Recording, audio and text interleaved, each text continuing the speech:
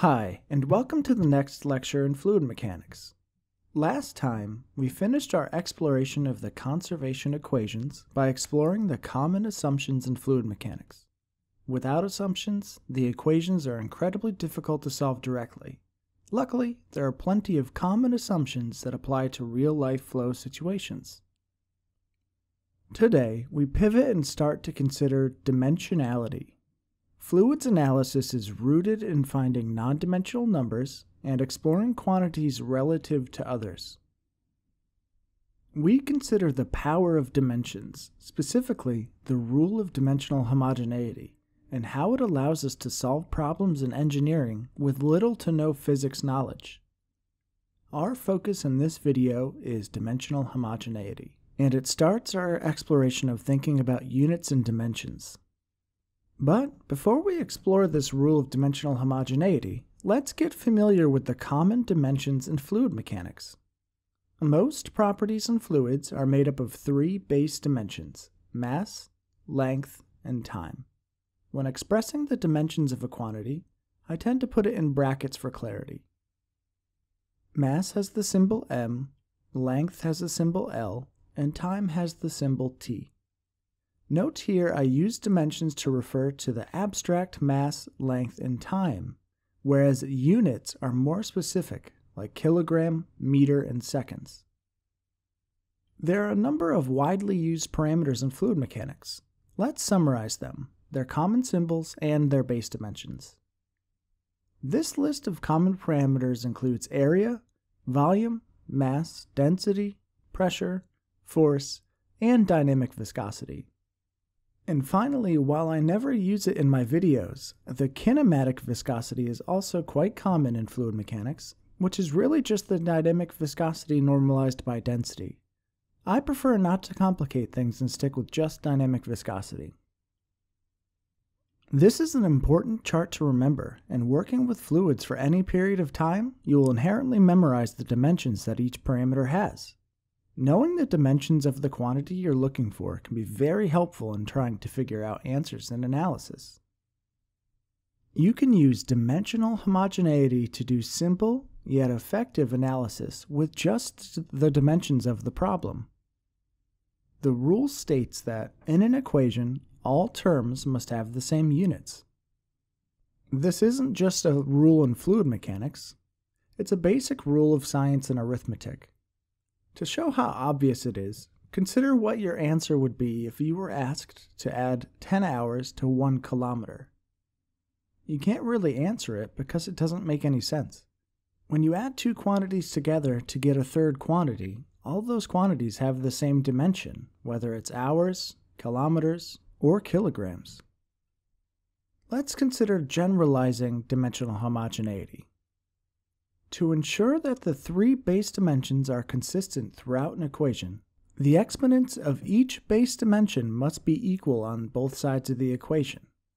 If m, l, and t have the exponents of a, b, and c on the left side, and d, e, and f on the right, then a equals d, b equals e, and c equals f. This ensures that there are the same dimensions on the left-hand side and right-hand side of the equation. We can try and apply this generalized rule to a few real-life examples to see how powerful it really is. I have two daughters. In the summer when it's hot, sometimes they like to play with the hose. Now, my oldest daughter can be a bit mischievous and likes to obliterate my youngest daughter with the hose. One day, I got to thinking, is there any way I can take the things that I know, like the hose geometry, things that I can measure, like the hose velocity, and guess the force my youngest daughter feels when being blasted with the hose. And to make things interesting, I'm not allowed to use any physics knowledge. No flow rate stuff or F equals ma. The first thing you do with any problem is you gather what you think will be meaningful parameters.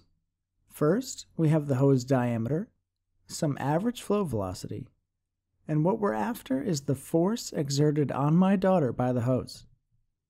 Now, we compare the base dimensions of what we want to solve for, the force, to the other parameters in the problem, like diameter and velocity. And in writing these down, you might notice that we've immediately hit a snag. Force has mass in it as its base dimension, but our two parameters so far only have length and time. This means no matter what we do, we can't make diameter and velocity give us a force. We need something with mass in it. At this point, you can start to consider basic fluid properties. When you're searching for mass, the fluid density is usually the parameter you need. Let's include fluid density in our analysis. And it makes sense because the denser a fluid is, the higher the force it can exert. Our goal here is to find a functional relationship between the force and some or multiple combination of these parameters.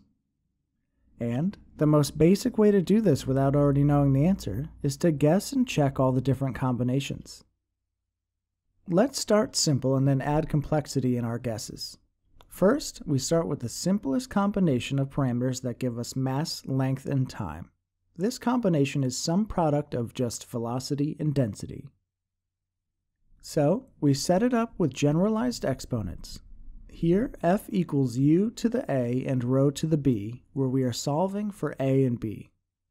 With this type of analysis, there is always an unknown unit-free constant out front. This is the best we'll be able to do with dimensional analysis. We won't be able to solve for the constant, but we will know how force behaves with respect to these flow parameters. Now, we replace our equation with the base dimension version. On the left-hand side, we have the base dimensions of force, and on the right-hand side, we have the base dimensions of velocity to exponent a and the base dimensions of density to exponent b. Next, we distribute our exponents and combine all our base dimensions. Now we need to solve for a and b. Each base unit is independent. The masses don't interact with the lengths or the times, and vice versa. So we can get a system of three equations of exponents because we know that on the left-hand side, exponents must equal the right-hand side. In this case, we have two variables, a and b, and three equations, so it's a bit overdefined. However, we need to check if it works. With the mass exponents, we find b equals 1, and the time exponents shows us that a equals 2. However, if we plug these values for a and b into the length exponents, it doesn't work. This means that there are no combinations of velocity and density that gives us the units of force. While they have the necessary base dimensions, mass, length, and time, there's no set of exponents that make it work. So we need to try again with another combination. The only other combination of parameters that have the combined base dimensions of force are diameter, velocity, and density. We do the generalization first, putting a constant out front and exponents a, b, and c. Then we write an equation for the base dimensions.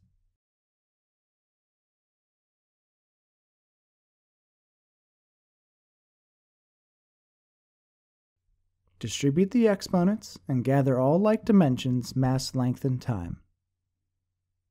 Set up the system of equations for the exponents. Here, the mass tells us that c equals 1, the time tells us that b equals 2. And finally, the length lets us solve for a, which equals 2. Good. The equations are satisfied. This means there is a combination of these three parameters, that make the units of force.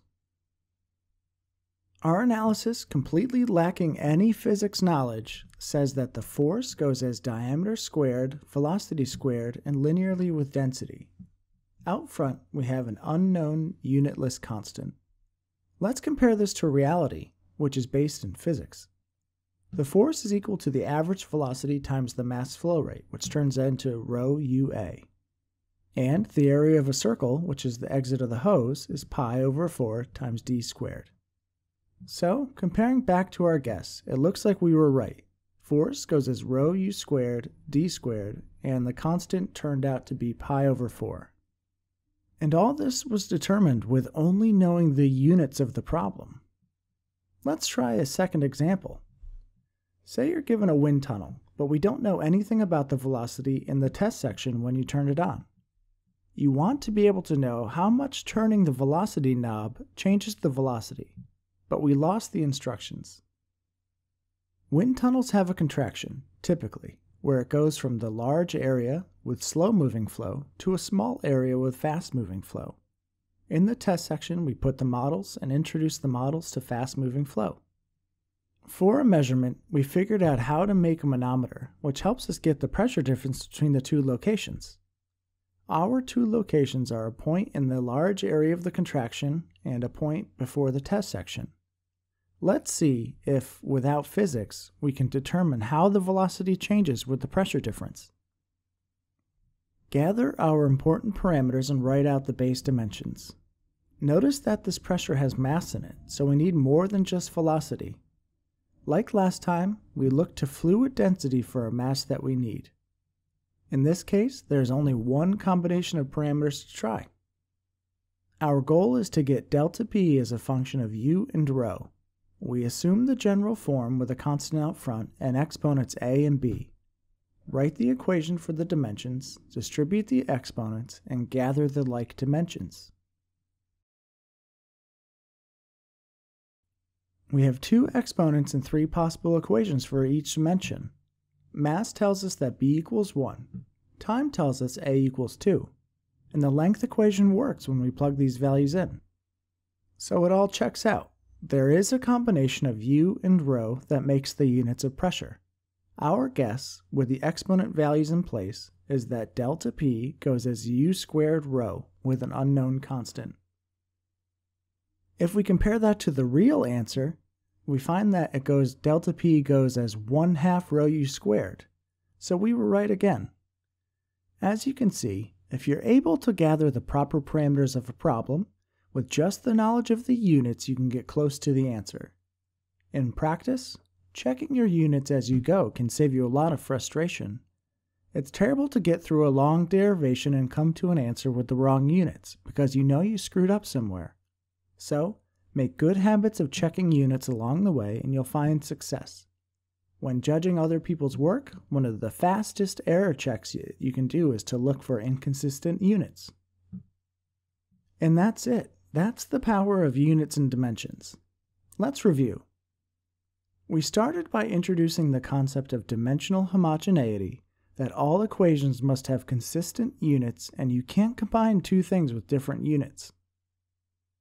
The three main base dimensions for fluids are mass, length, and time, and they're distributed in many different parameters in different ways. Then, we learned how to use the dimensional homogeneity to crudely solve problems without knowledge of physics through two examples. In each case, we tried combinations of the problem parameters and got very close to the right answer, at least within a constant. In practice, checking units is essential in catching our own and other mistakes. I hope you liked the video, and thanks for watching.